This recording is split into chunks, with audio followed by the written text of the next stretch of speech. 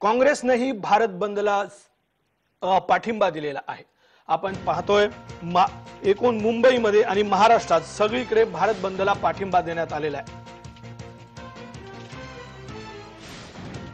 लाल बहादूर शास्त्री यांच्या पुतळ्यासमोर धरणे आंदोलन करण्यात आलेलं आहे.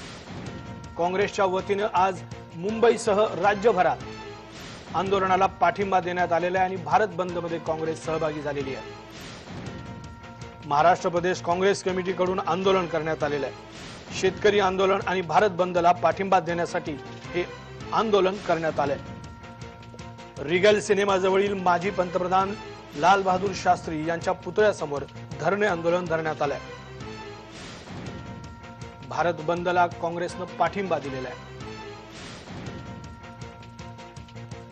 या बंदमध्ये महाराष्ट्र प्रदेश काँग्रेस कमिटीचे अध्यक्ष महसूल मंत्री बाळासाहेब थोरात ऊर्जा मंत्री नितीन राऊत मुंबई काँग्रेस अध्यक्ष एकनाथ गायकवाड प्रवक्ते सचिन सावंत तर इतर काँग्रेस नेते सहभागी झाले आहेत. रिगल सिनेमाजवळील माजी पंतप्रधान लाल बहादूर शास्त्री यांच्या पुतळ्यासमोर हे धरणं आंदोलन करण्यात येत आहे.